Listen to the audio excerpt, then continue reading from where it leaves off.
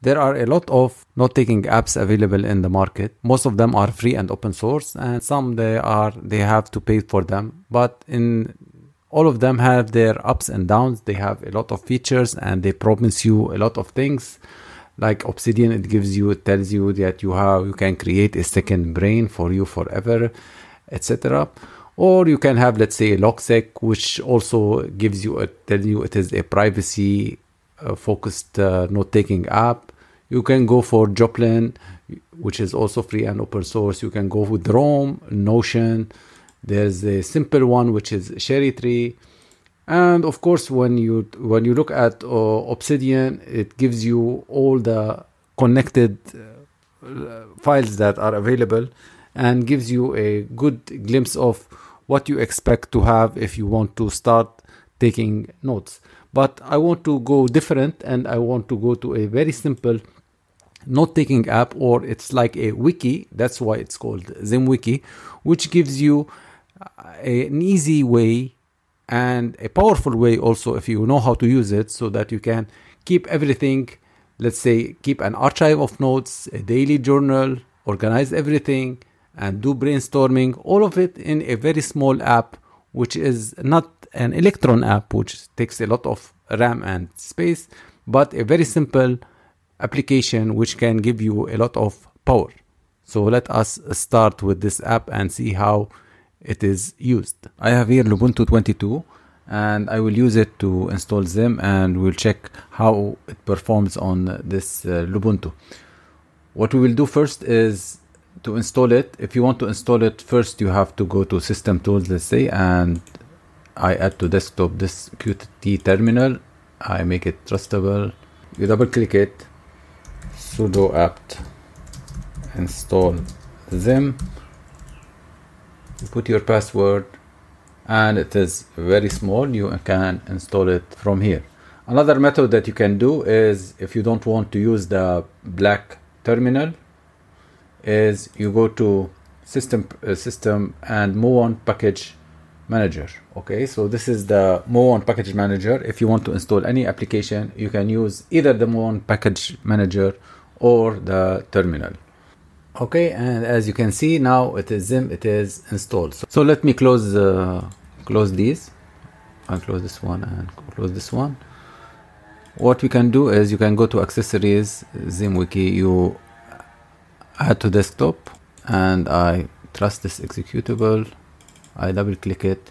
So it tells me where you want to put your folder. Uh, you can put it in notebooks and you name it as notes. You can I, I will name it as 13 minutes the folder and okay. So this is uh, Zim. The first thing that you can do is you can use the bold or italic or mark highlight or strike through. So for the bold, you pick it and you press the bold or the strong. For the italic, you press this one. For the marking or the highlight, you can press this one. And for the strike through, you can press uh, this one. So this is a very straightforward way to use it. I prefer not to use the the markdown syntax that everyone uses because uh, Zim is different. For example, let's say I want to put an, a heading. I will press equal equal home, for example. It will be this is a heading. For the markdowns, it, they uses the pound. So that's why it's better to use the menu. So for example, if I have this is heading one, if I want to go for head, heading two, all I have to do is and go here the H heading 2 so this is heading 2 heading 3 it will be smaller. Heading 4 heading 5 it depends what what you need. If I want to put a, a checkbox checkbox all you have to do is you put star same as any markdown and you space. You play you say first. If you press enter it will be the second. And this is the third. There's another example with the bracket. If I put bracket bracket and I put space, it will be a check mark. check one and I have check two and check three so I press enter if I want to put it as checked I can press here I press again it will be unchecked and if you can this is the empty one this is for the checking if I want a horizontal line. I press this one it will be a horizontal line. I can start with another topic. Another thing we have to talk about is the plugins. If I go to edit preferences plugins these are all the plugins that you are you can use. You can use arithmetic etc etc the ones that i really need to talk about is if i want to insert an equation to insert an equation it tells me that latex and dvipng failed. It has some dependencies so we need to install these dependencies. I will tell you how we can install these dependencies also. And also if I want to put a block of code which with uh, color uh, color highlighting I can use also this one but it also says that it needs GTK source view. So let us install these uh, dependencies and we'll come back to it. So first here what we can do is we can go to system tools Muon package manager and we search for GTK source. And if you notice there is here girl one gt source gtk source dash 3 so this one i mark for installation. I press ok. Apply changes. I'll put the password we need to install also this this one. I press ok. So we have two libraries to install. I'll get out and come back. Go to edit preferences. Go to plugins. Go to source view. And gtk source view is okay so now i can use it if i want to use it here let's say i will put insert it will be here. We have a code block. The syntax let me put it as sh. You can put python you can put html you can put whichever syntax that you want. This is all the choices that you can think of Haskell, HTML, all of them. I'll put sh, let's say, and I'll put here sudo apt install zim and you see the color coding that is available. The number you can change the number if you want. How you can change it is very simple here. You when you enter the code block there is the display line numbers you remove the display line number and you can install the same thing so the next thing that we will use is the LaTeX. And the LaTeX, if you remember, it needs LaTeX and DVI-PNG. For uh, Arch, you only need to install uh, TeXLive-Core. It will install everything for you. For Ubuntu, you have to install two things. You need to install the uh, TeXLive-LaTeX-base and DVI-PNG. So what we'll do here is let me go back also to this Muon package manager we search for it has all these dependencies it has text, uh, TeXLive base all of this so in the details I mark it for installation I press OK and it is so it has finished let us see uh, in the preferences plugins and the equation so LaTeX is okay. We need also DVI PNG. So DVI PNG, I search here for DVI PNG, mark for installation, apply changes, put my password, and it's finished. We go to the preferences, to the plugin, in the equation, LaTeX is okay, dvipng is okay. I press it, I press OK. So now I can write an equation. If I want to write an equation, I go to insert. Now we have an equation here. You need to know the syntax for LaTeX. For example, if I want to put a fraction, I press frac, let's say A and B. I press the preview. It gives me A over B.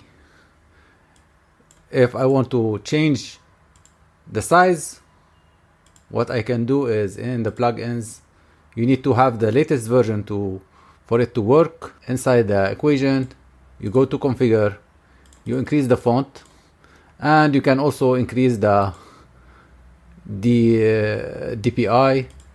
I press OK. So now let's say I want to insert another one. Insert another equation. I make it a preview and it is big so you can make it bigger you have to make sure that it is the latest version because if you don't have the latest version you need to do it you don't have this configuration if you want to write math equations and you don't know the syntax for latex what you can do is you go to the browser. I already put it as a bookmark. It is called the latex editor.lagrida.com what you can do let's say if you want to put a square root of something. So let's say you put the square root of a squared plus b squared.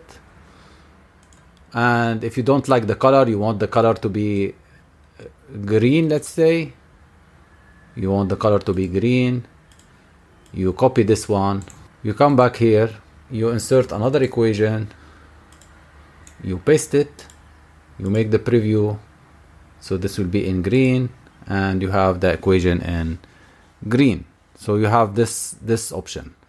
The last thing that we will talk about is the table. So we can make a table. The table is very basic but you can use it here I don't have a table so I need to go to the plugins. It doesn't need any dependency the table. So all you have to do is go down down down and table editor and press ok. So here when you say insert now you have a table. You put let's say if you want let's say three columns. I have the first column. I will call it column one. You can call it let's say column a if you want. Another one column b and another one column c. What you can do is if you want to left align center or right align each column I let's say I will make center this one and will leave the others. I'll press OK. So it gives me this column A column B and column C. Let's say here I want to write one and here I want to write let's say this one and this one is this one you have to be careful this one doesn't use tab so you have to click all the time that's why it's very basic, but I give you another method in order to input data into a table. For this one now, you can press this, this, and this one. If you don't need this column, you can remove it. So I have only two rows. If you notice here, the column A is center aligned. These are left aligned and left aligned. If you want to get them again or make them all center, all you have to do is center and center. Of course, there is also a workaround for uh, this one if you want to enter uh, very big data. Let's say you go to also to the internet. There is a another website you can use is tableconvert.com. What you can do is you paste your CSV if you have a CSV file, which is a table which is separated by the fields are separated by a comma. You can paste them here. You will get the result here. Or let's say you want to make a table editor. Let's say I want to have four columns and two rows. So it gives me four columns and two rows. I'll put here let's say column one. I press tab. Column two. Column three and column four and here I press let's say 12 etc etc and etc so what we have here is you, you inputted the data, you get this markdown. You go to markdown. So this is the column that you want. If you want to have a text align all of them as center, you can press it. So what you have to do is you copy this one and you paste it here. So you'll get the same uh, result but faster so these are basically all the things that you need to, to do. There's many things that you need to to be careful about, especially if you have a dark theme. Let's say you have a dark theme and this one is yellow. The color will not be good. So if you want, you can change this highlight of yellow through the configuration files. How to get it? We'll go to here. I have the Zim config. It speaks about all the configuration that you need to do. The thing that you need to do is you go to dot .config. I will show hidden. So you go to dot .config, Zim, and inside the style, what you can do is the tag mark yellow, you can put it as, let's say, light blue. So you have changed the background of the highlighting and you can change many things. You can experiment with many things for this one. Let me save this one. So I will save it. And if you notice here, the highlight is yellow. Let me close it. So now the highlight is light blue. The other thing that we want to talk about is in the configuration file, if you have a, a dark theme, what you can do is you go to .config gtk. Let me increase it a little bit. So this one you go to .config gtk3 gtk.css if gtk.css does not exist you create it. If it exists you have to add these at the end. So if it exists you add these at the end. If it doesn't exist you make a file gtk.css and you put this these two lines. What this means uh, for these two lines is that the background dash color you can change it. You can make it another let's say you want it black you can put it as black. And the color here for the foreground text color if you notice in zim here it is white background and black text you can change it through this one into the background color you can change it into let's say blue and the foreground color you can change it into yellow you put here blue and you put here yellow so to elaborate, what you have to do is you have to go into config GTK3 GTK CSS. I will go to here Lubuntu, go to config. There is GTK 3.0. There is no file. We have to create this file. So I'll create the file which is gtk.css. And in this file, all this, copy, and I open it. I paste these and if you notice here the colors I want to change let's say I will put the color for the background let me make it as red and for the foreground I'll make it as white. I will save it. So this file is saved. I will go out here. I will go out and come back. And I will enter it again. And now if you notice the background here is red. And the color if you want to write it will be as the font is white. So if you want to change it again what you have to do is you go to gtk config gtk you can remove the file because I only created it for this matter I'll go out come back again and it is finished the next thing that we will talk about is about the images and the attachments so what you can do is if you notice first, uh, let me check something. If I am in Ubuntu and in I'm notebooks and in 13 minutes, if you notice I have this file which is home home.txt. Txt if I want to include another file, I can do another text file. There's no problem. And if you have any attachments inside, it will be inside the folder. If you notice here, the home folder, it has a over b as an equation.png. There is the text file.text etc etc you can have also some drawings and some text and some attachments as you can see in the example that we will do so what we can do now uh, let's say if i want to create a page i will create a page i will call it let's say attachments and here in the attachments let's say i want to add a picture so what i can do is if i go here and let me go to my uh, youtube channel Let's say I want to take this logo, I copy the image, I go to attachments here and I go to edit, paste. So I have this image. So now this image is saved. So I have the attachments.txt, the file, and we have the attachments folder. And in the folder, now I have this image.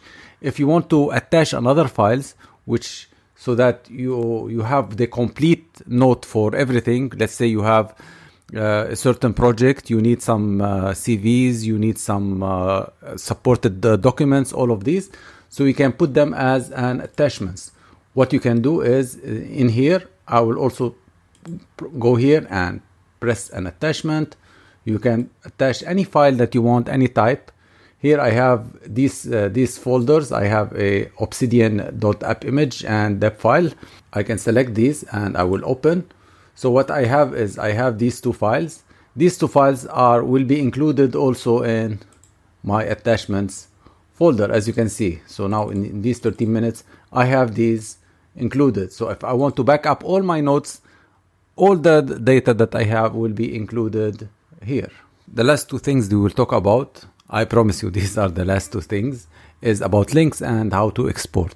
So if I want to create a link between uh, two files, let's say the attachments and the home folder, what I can do is, let's say now I'm in the attachments folder, I want to go back to home folder without pressing these two. So what I can do is I press, let's say I put a text, go to home. Okay, I select it. I press Control L and it tells me you want to link to which one? Because I'm in attachments I want to link to home. So what I press I press H and if you notice it gives me the two alternatives or the two files. So I want to link it to home and I press link. So whenever I press this one it will go to home. Let me press it. It will go to the home file if I want to go from home file to the attachments I will let's me I will write here go to attachments and I take it all I press ctrl L and here I will say I want to go to attachments. So I press A attachments so directly it gives me the file that is available here. So I press link. So now when I press it it will go to attachments and I go here I will go to home sometimes uh, some some uh, links will be created automatically. Why? Because if you go to edit here and preferences there is one thing that you have and it says automatically turn camel case words into links which means if i write any camel case word it will give me a link directly. You can turn it off or you can keep it. If i keep it like this what will happen is let's say i want i write let's say uh, every week so this is a camel case uh, word. So directly it created it as a link. I press it. So I, nav- I now have a file which is called every week. If you are not comfortable with this one, so you don't use the camel case. So what you have to do is you go to preferences and here you turn it off. This is very important. The last thing we will talk about is how to export. Sometimes you want to export a uh, certain file or many files or all the notebook to, let's say, Obsidian, which is an Obsidian app because it's based on Electron. But it is uh, too much popular these days, especially on YouTube. You will find a lot of videos talking about Obsidian. I prefer them better, but if you want, let's say, to take this file and you put it in Obsidian, so what you have to do is you go to File, Export, and in the export there's two options. Either you have the complete notebook which is the 13 minutes folder which is up there or you have a single page. So if i go for single page i will get forward. There's the choices here. You have html mhtml latex or markdown or sphinx. So because it is obsidian we will use markdown. We'll go for forward.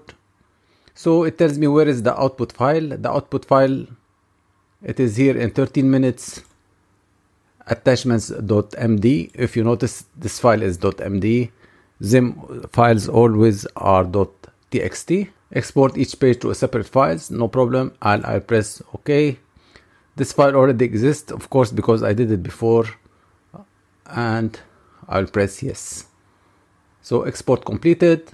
So it is okay if I want let me open Obsidian for Obsidian I created my vault they, they call it a vault the same as the 13 minutes That's why it will show me all of this. When you enter Obsidian uh, for the first time, it tells me which is the vault. So I pressed also 13 minutes. Now I have this attachments. It is only this one is, is apparent, not the other home folder because home is .txt. If you notice here, you have home.txt, attachments.txt, and attachments.md.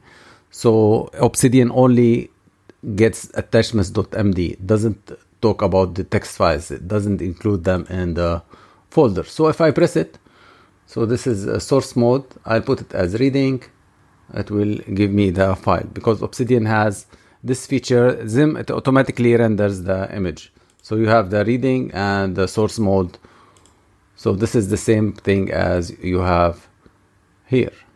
In the end, Zim is a wonderful tool.